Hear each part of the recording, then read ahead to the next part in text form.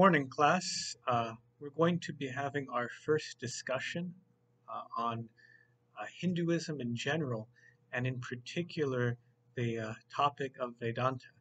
The text we'll be using is uh, the Carmody and Brink text called Ways to Center, and we're going to be looking at the particular section labeled Vedanta in the uh, sixth edition, which is going to be on pages 102 and 103.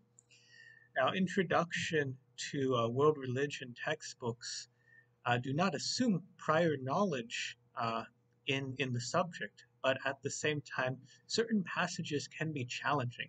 And so I've chosen a particularly, uh, what I, I, would consider a challenging passage, and we're going to uh, examine it critically and I'm going to show you um, a few suggestions on how to read the passage.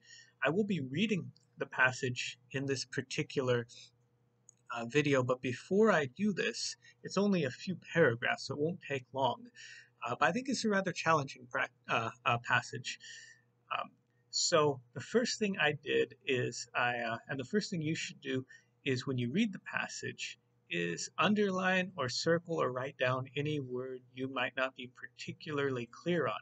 This comes somewhat later in the chapter, so they've already defined many uh, essential vocabulary um, words to the uh, religion of Hinduism in, in particular and to the Dharmic religions in general. But this passage has quite a, a, a few vocabulary words. So I wrote down a few of them that I thought you um, may or may not know. Uh, if you do know, that's great. If you don't know, uh, try to look back in the chapter. If you still don't know, uh, write me a message on, on uh, Canvas or email. So just some of the words in the passage that, that um, one should know. Uh, Brahman, Monist, Upanishads, Brahman, Atman, uh, middle stages of life cycle. Actually, you should know the entire life cycle. Uh, yoga, Vedas, hermeneutics, prime mover, mystic, um, Maya, and Vedanta. So that's essential that you uh, know what those words mean um, before fully comprehending the passage. I have one question for discussion, and I have three questions I've written down that uh, would help you to uh, to answer that that one uh, question. Um, there will be the actual discussion question. Now let me go ahead and read the passage, and um, if you're watching the video, you can follow along. You have the uh, I've provided the text. Um, so it says uh, it's titled Vedanta, and uh, it begins. Um, Shankara, the greatest of the Vedanta thinkers, was a Brahmin. Was a Brahmin who lived about 788 to 820 CE. He taught a strict uh, monist doctrine. That's the first word. Uh, what does monist mean? Reality is non-dual, and all variety and change should be attributed to illusion. What exactly is meant by illusion?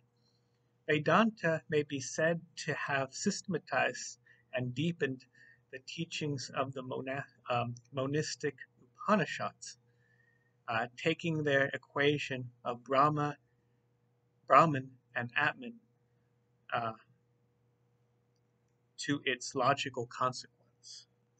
Shankara urged celibacy and skipping the two middle stages of the life cycle so that one could pursue uh, liberation wholeheartedly. He tried to systematize the Upanishads in terms of unqualified non dualism. In other words, he tried to explain the basic Upanishadic concepts of Brahman and Atman with consistency and vigor and rigor. To do this, Shankara first established that there are two kinds of knowledge higher and lower. Lower knowledge is under the limitations of the intellect, while higher knowledge is free of such limitations. The limitations of the intellect include its reasoning, character, its dependence on the senses, and its dependence on the body to act. These limitations are all subjective, since they are the limitations of the knower or subject. The objective limitations to knowledge due to aspects of the known thing are space, time, change, and cause and effect relationships. Because of objective's limitations, we tend not to see or grasp reality itself. Higher knowledge comes by a direct perception that is free of either subjective or objective limitations. In practice, it is the direct vision of that the seers who produced the Vedas enjoyed. So again, what are the Vedas? Um, quite likely, therefore, Shankara assumed that the Vedanta philosophers practice a yoga that like that of the ancient sages. If so, he assumed that the Vedanta philosophers experienced the removal of the veil between the self and Brahman, with which the self is actually identified.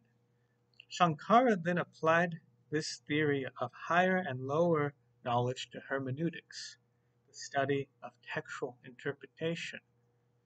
According to Shankara, all passages in the Upanishads that treat Brahman as one derive from higher knowledge all references to Brahman um, as many or dual derive from lower knowledge. We can paraphrase this by saying that Brahman in itself is one and beyond all limitations, while Brahman for us, as we perceive it through sensation and reasoning, appear to be multiple, uh, to be both in the world and beyond it both material and prime mover. Goes on. With the subtlety of a great philosopher, Shankar wove, wove, wove um, like weave, wove the two edges of Brahman in itself and Brahman for us into a seamless whole. With the religious hunger of a mystic, he sought to correlate the within and the without. Shankara's core affirmation in his philosophical construction was that reality within is identical with reality without. Atman is Brahman. In other words, when one realizes through revelation or higher knowledge that there is no change, no space, uh, time limitations, no cause and effect qualifications, to the real, one then discovers that there is no self. Rather, there is only the self, capital, the Brahmanic uh, reality that one directly perceives to be the ground of both internal and external being. From the perspective of lower knowledge, there is, of course, a personal, separate, changing self. And in absolute terms, though, there is one indivisible reality that is both subjective and objective. That is Atman Brahman.